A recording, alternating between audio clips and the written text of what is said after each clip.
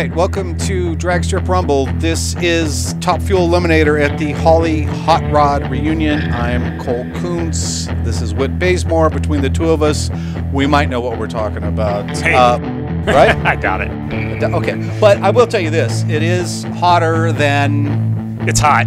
well, Dude, it's hot. And with these cars, they don't like a lot of heat. They don't like a lot of cold either. Yeah, yeah, they don't like a lot of Right. heat. And it's hot. The track is hot. And it makes it challenging.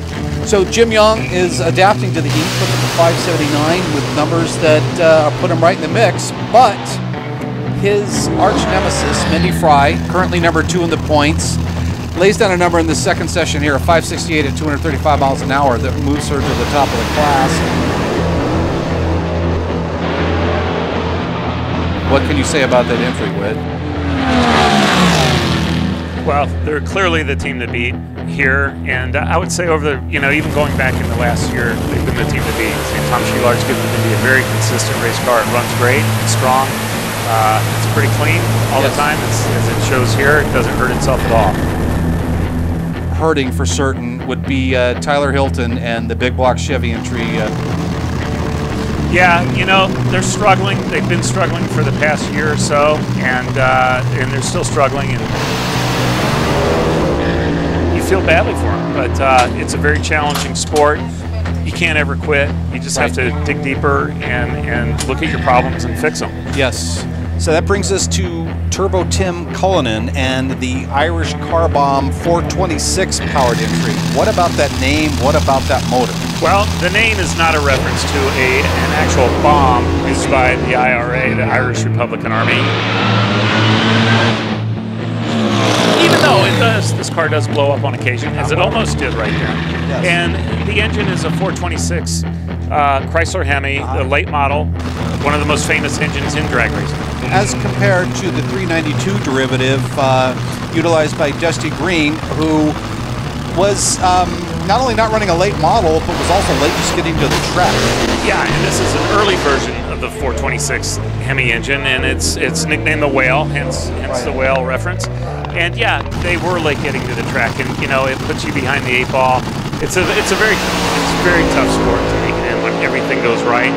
When you're late to the track, for whatever reason, uh, it's it makes it ever more challenging. Yet they were able to put it in the show in this third session with a 589 at a slamming 242 miles an hour. Good run.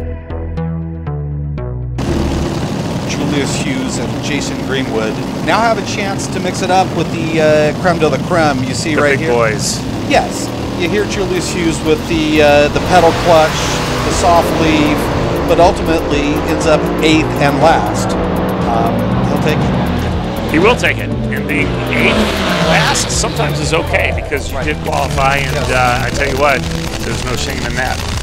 So that brings us to the Champion Speed Shop entry. This is a championship caliber team, and this car, you know, with a small block Chevy, is uh, it's, it's backfiring, blowing out the burst panel every single run. So it's, it's actually running very well to that point. And if they could fix that problem and go to the finish line, the thing might pick up Yes. at least half a tenth. Nice. But you can see the damage uh, to the engine. The, the burst panel is out of it, and uh, you know it's it's hard to win a race against the Mendy Fries and the Jim Youngs when your car doesn't go to the finish line. It's they've got to get a handle on this, and I know Bob McClellan uh, is scratching his head, and they all are, and they're going to get it. You can see the burst panel out of it there. Right. Um, it- it's a big problem, and it's doing it every single run. So there's something probably very simple that's wrong with that car, and uh, it- it's obvious, but it's not obvious until it is obvious. And sometimes these things can go on and make you crazy, but uh, they'll get it. They'll get it figured out. Well, they'll have to figure it out against their Bay Area uh, rival, Brendan Murray, with the uh, 426 elephant powered car out of San Jose. Uh, so they've got one shot to get it right. Um, they face Brendan. Mendy's up against Julius Hughes. Dusty Green faces uh, Tim Cullinan. And the other pair is the two cheeseheads, Jim Young and uh, Jason Greenwood. And that is your, uh, your pairings for the first round of Top Fuel Eliminator. Uh, come back for more outrageous drag strip action.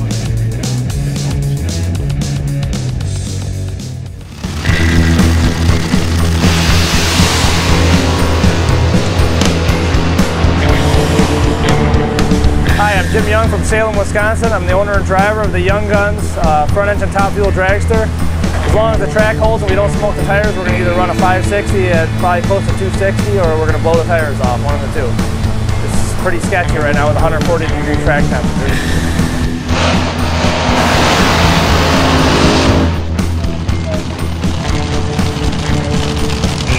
Hi, I'm Jason Greenwood, uh, driver of the JJ Motorsports Nostalgia Top Fueler. We were here till 11:30 last night, uh, trying to get the pieces together to make the first round, and uh, just going to go out there, run our own race, and try not to repeat what we did in 2016.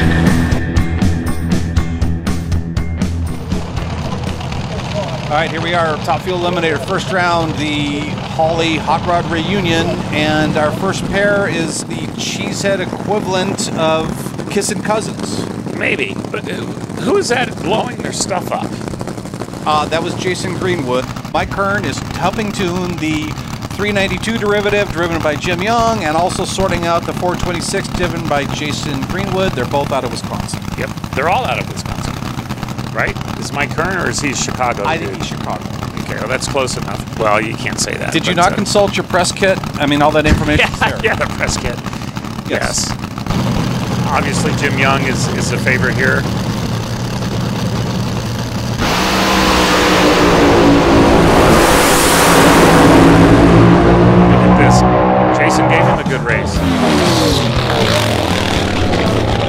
Jim Young continues to prove that he needs to be dealt with.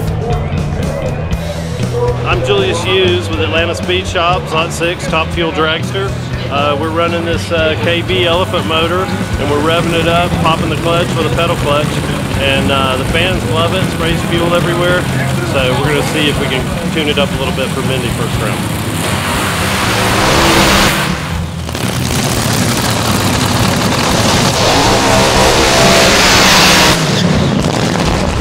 I'm Mendy Fry.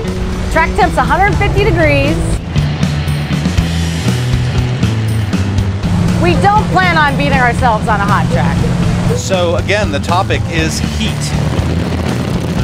Everybody's building heat, and everybody's trying to deal with the heat. Well, you know, when you're when you're Mendy Fry and Tom Shelar, the heat is more your enemy than with other people because they're really racing against themselves. They beat themselves. Uh-huh. Julius Hughes, good old Atlanta boy, he's pretty laid back. isn't he? Yeah. He is laid back until it comes time to stage, and then he brings the RPMs up, not unlike, uh, say, an alcohol funny car or something. So he's the only pedal Yeah. clutch in the car. But as he says, it sprays fuel everywhere, and the fans kind of like it. Right. You know, and I, that's, he's, he's pretty laid back. I like that. Well, there he goes now.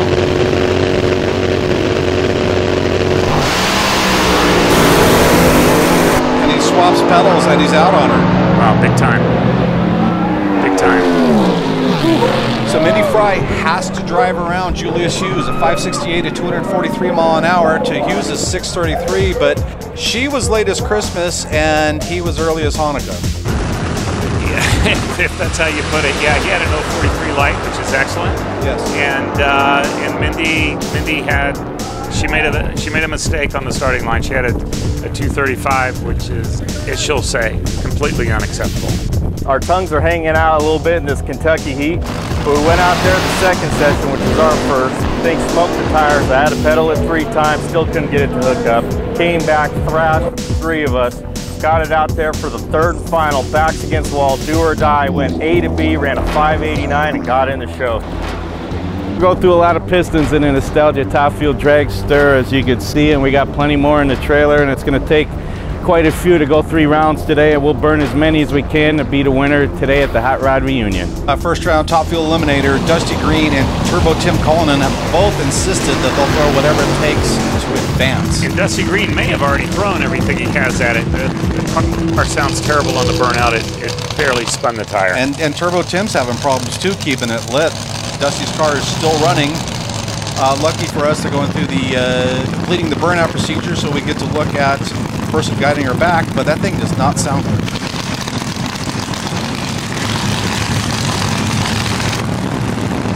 crew guy says shut the thing off. Yes. So uh, it'll be a single for, for Turbo Tim and the IRA, Team IRA I car. see.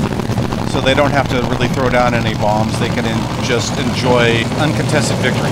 Just raging frustration, all the effort it took to get to this event, uh, the do or die to qualify, and they don't even get the satisfaction of making a lap. You know, I, I tell you what, it's it's one reason to hate the sport Yes. because it's so friggin' difficult sometimes, and you just can't ever get out of the hole that you're in.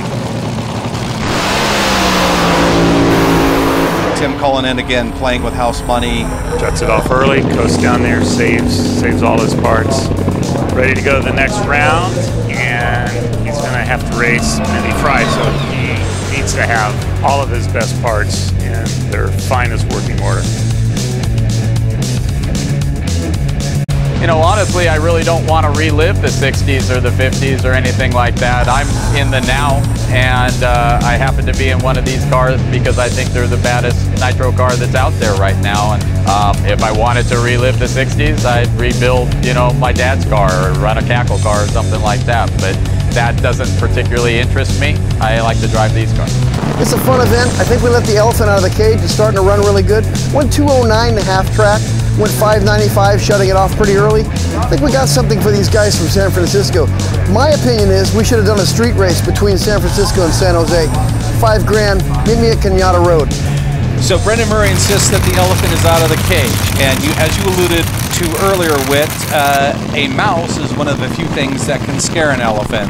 Brendan Murray, th- this is his chance. I mean, if, if you look at these two cars in, in generality, Yes. He is at a big disadvantage. But they're struggling right now. That that little motor is blowing itself up. Yes. If he's going to take them out, now's the time. He has to not beat himself.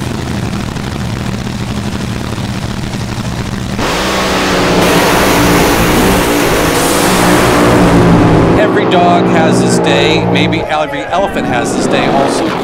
Brendan Murray, I mean, he was well ahead. It was almost a perfect run until the very end, and he almost did give it away. You know, looking at these guys walk off the starting line, the champion team, you, you have to feel for them. But th- this is what drag racing is. It is so incredibly humbling at every level. Right. It doesn't matter who you are, what you've done. It, it's all about right now. Like Adam said, he lives in the now. Uh-huh. And and this is the now. And the now for them is a difficult situation. You, you, you be here now, but the now is crushing. the now is crushing. So uh, that takes us to our semifinal pairings. We have Mendy Fry against Turbo Tim Cullinan, and we have the uh, the dark horse slash elephant Brendan Murray, who will uh, attempt to stare down Jim Young.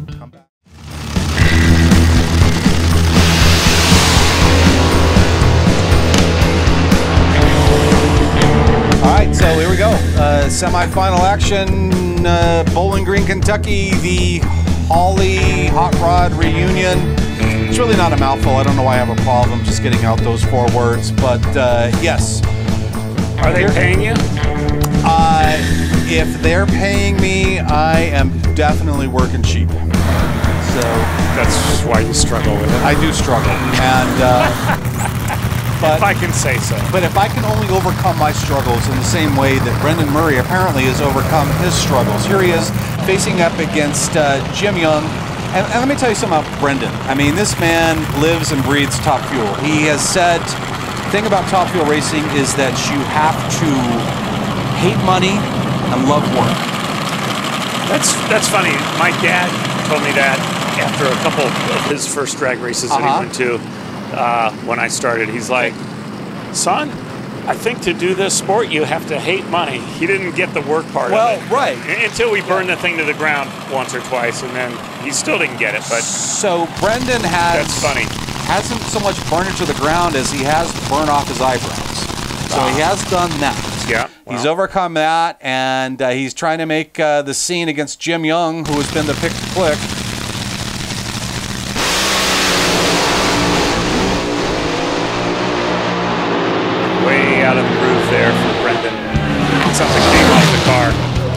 I don't know if that made any difference as far as what came off the car because he was on some sort of samurai sleigh ride. I mean, wow, that was nuts. Well, you can see the left tire got out of the groove a little bit, and, Yeah. and then uh, and then the whole car was. It, these cars they don't have much downforce, Right. And they have a small tire, so and, and it's still a fuel motor. I mean, it's Uh-huh. still making several thousand horsepower. Right. They're real race cars. They're badass. They're gonna spin the tire when they're when they're not in the groove. Well, so that brings us to who will eventually be his competition, and that is either Turbo Tim Cullinan or, as we've alluded to, the illustrious Nitro Kitty Mendy Fry. Who's your money on?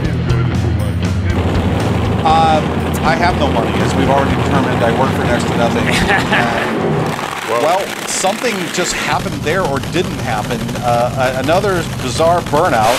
Uh, Mendy's, of course, looks very strong. Turbo Tim is having some problems. It's rather frantic. I don't know if there's something with the throttle stop is wrong or what's going on, but he went 60 feet and his crew member is down there 250 feet. Yeah, the thing didn't spin the tire at all. Well, they're backing it up, so not a good sign.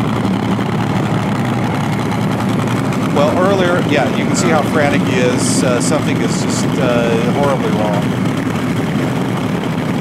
He's asking them, the guys, to help shut the thing off, so they, they loosen the fuel line there. I see. shut off easily, and uh, So, bummer, bummer Yeah. for him. Turbo Tim, a dead player, uh, Mendy Fry now has an opportunity to test the track like she's been doing all weekend.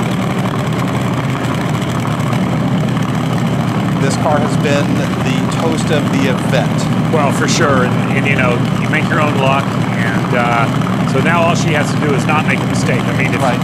it's a free run, Yes. and uh, she's in the final, get a good run so they have data for the final.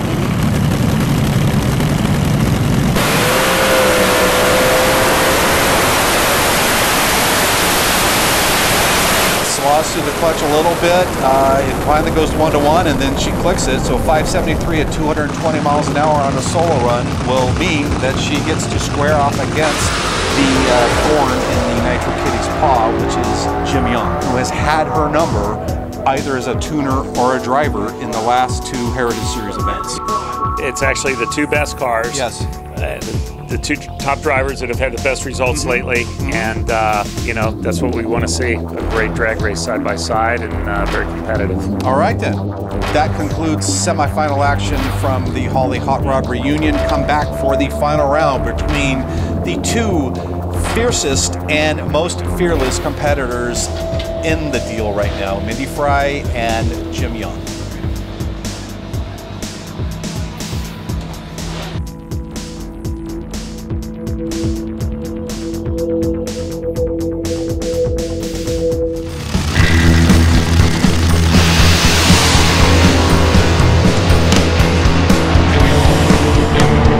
So here we go. Jim Young uh, is going to attempt to make yet another statement. He closed out the 2017 season with a victory at the California Hot Rod Union. Uh, he tuned Pete Wittenberg to victory at the March meet as he drove around uh, Mendy Fry. Mendy wants to undo some of that psychic damage. Uh, you alluded earlier, Whit, to the one number she's worried about, which is her reaction time.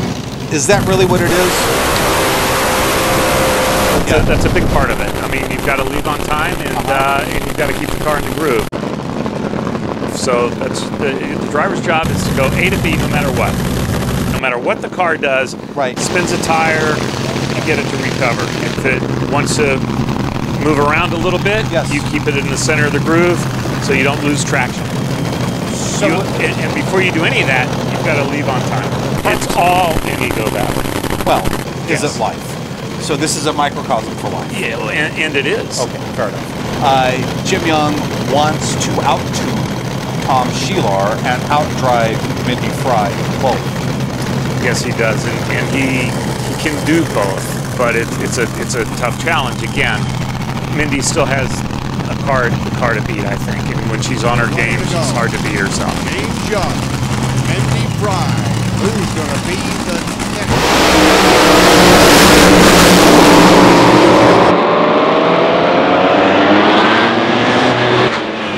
At 572, oh my God, 572 at 250 miles an hour defeats Jim Young's uh, Sawing S's 584 256. Uh, margin of victory, six one hundredths of a second. Six one hundredths, pretty close, you know. And he did lead first, and uh, but again, you know, you've got to keep that thing in the center of the racetrack, right? And in the car, when it moves out, I mean, it had the right tire out of the groove quite a bit. Yes. And and it, it's going to lose traction. It's going to spin. 52 miles an hour. Short 584. James Young did a heck of a job. Jim. Jim, who won? Jim Young, he did know that he lost. Is that right? He's he's he'll admit he's not the best loser in the world. Mendy appears appears to be a good winner, which is the easy part. One, two, three. Spectacular finish. It was a good race, good weekend. Yes. So that'll be it for Bowling Green 2018, the Holley Heritage Hot Rod something. Yeah, a bunch of that. and uh, and uh, the next one will be in Boise at the Night Fire Nationals, and uh, we hope to see you there. The next.